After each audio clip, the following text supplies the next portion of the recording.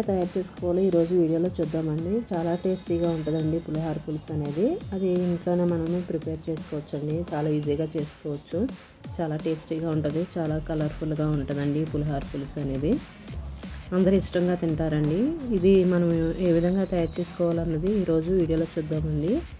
ఎక్కువ కాలం కూడా నిల్వ ఉంటుందండి. ఒక బౌల్ తీసుకొని దానిలోనికి పావు కిలోలో సగం తీసుకున్నానండి చింతపండు నేను ఇక్కడ.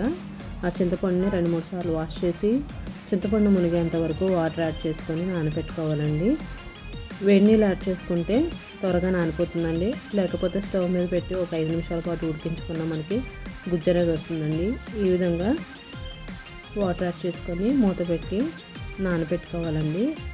ఈ చింతపండు నానే అంతసేపులో మనం ఇక్కడ మసాలా అనేది ప్రిపేర్ చేసుకోవాలండి. ఇది చాలా టేస్టీగా ఉంటుందండి మసాలా అనేది యాడ్ చేయడం వల్ల. స్టవ్ ఆన్ చేసుకొని దీనిలోనికి పావు టీ స్పూన్ మెంతులు వన్ టేబుల్ స్పూన్ ధనియాలు అర టీ స్పూన్ జీలకర్ర యాడ్ చేసుకొని ఈ విధంగా కలిపెట్టుకోవాలండి. ఇందులోనికి వన్ టేబుల్ స్పూను నువ్వులు అదేవిధంగా అర టీ స్పూన్ ఆవాలు అదేవిధంగా అర టీ స్పూను మిరియాలు కూడా యాడ్ చేసుకొని కలయి పెట్టుకొని లో ఫ్లేమ్లోని మంచి కలర్ వచ్చేంత వరకు మనం ఇక్కడ వేయించుకోవాలండి. మనకి ఇక్కడ నువ్వులు అనేది చిటపట్లాడతాయండి వేగినాయంటే.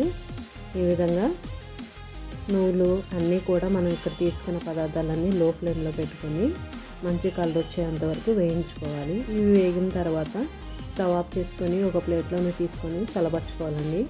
ఇది చల్లబరుచుకున్న తర్వాత మిక్సీ జార్లో తీసుకొని మరీ మెత్తగా కాకుండా ఈ విధంగా బరకగా మనము మిక్సీ పట్టుకొని పక్కన పెట్టుకోవాలి.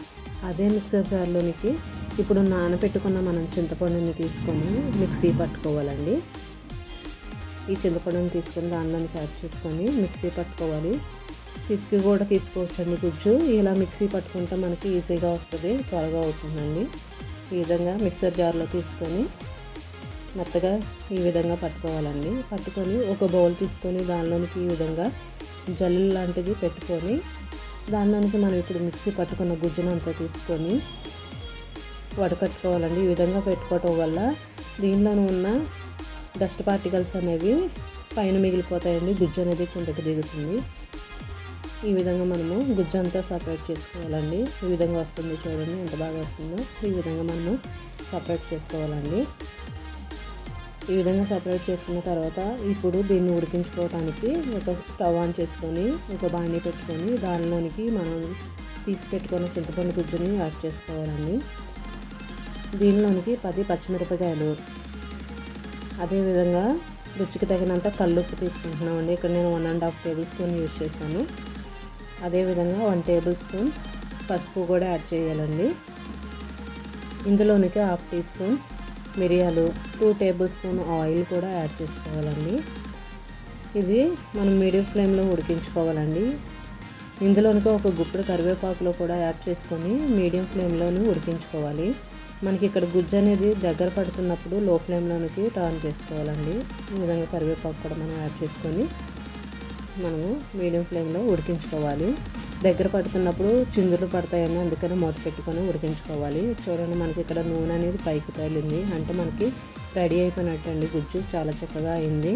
ఇప్పుడు స్టవ్ ఆఫ్ చేసుకొని పక్కన పెట్టుకోవాలండి. ఇప్పుడు వేరే స్టవ్ ఆన్ చేసుకొని వేరొక బాణీ పెట్టుకొని దానిలోనికి అర కప్పు ఆయిల్ యాడ్ చేసుకొని దీనిలోనికి గుప్పుడు వేసనగుళ్ళు గుళ్ళు అదేవిధంగా టూ టేబుల్ స్పూన్ల పచ్చనగపప్పు వన్ టేబుల్ స్పూన్ మినపప్పు వన్ టేబుల్ స్పూన్ ఆవాలు పది ఎండుమిరపకాయలు గుప్పెడు కరివేపాకులు యాడ్ చేసుకొని కలిపి పెట్టుకోవాలండి. ఇందులోనికి అర టేబుల్ స్పూన్ మిరియాలు అదేవిధంగా టేబుల్ స్పూన్ ఇంగువ కూడా యాడ్ చేసుకొని కలయి పెట్టుకోవాలండి. దీనిలోనికి మనం ఉడకబెట్టు పెట్టుకున్న చింతపండు గుజ్జును కూడా యాడ్ చేసుకొని అందులోనికి వన్ టేబుల్ స్పూను బెల్లము కూడా యాడ్ చేసుకొని కలయి పెట్టుకోవాలండి. మనం ముందుగా సిద్ధపరచుకున్న మసాలా పొడిని కూడా దీనిలోనికి యాడ్ చేసుకొని మొత్తం కలిసేంత వరకు తిప్పుకొని ఒక నిమిషం పాటు ఉడికించుకుంటే సరిపోతుందండి. చాలా టేస్టీ రుచికరమైన పులిహోర పులుసు అనేది మనకి ఇక్కడ రెడీ అయిపోయిందండి. ఈ విధంగా మనం గాజు సీసాలో కనుక మనం స్టోర్ చేసుకుంటే మనకి ఇక్కడ పులిహోర పులుసు అనేది ఎక్కువ కాలము ఫ్రెష్గానే ఉంటుందండి.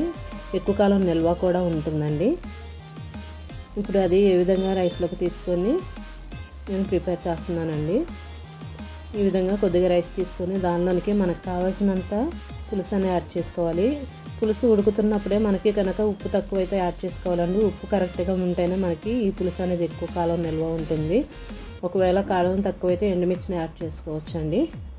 ఈ విధంగా మనము చక్కగా టేస్టీ టేస్టీ పులిహార పులుసు అనేది మనము ఇక్కడ రెడీ చేసుకోవచ్చండి. ఇది ఎక్కువ కాలం నిల్వ ఉంటుందండి. ఈ విధంగా తయారు చేసుకుంటే మనకి ఫ్రెష్గా కూడా ఉంటుంది. చాలా రుచికరమైన పులిహార పులుసు అనేది ఇక్కడ రెడీ అయిందండి. మీరు ట్రై చేయండి ఎలా వచ్చిందో నాకు కామెంట్ కూడా చేయండి. నచ్చితే లైక్ చేయండి షేర్ చేయండి సబ్స్క్రైబ్ చేయండి. Thank you. Thank you for watching.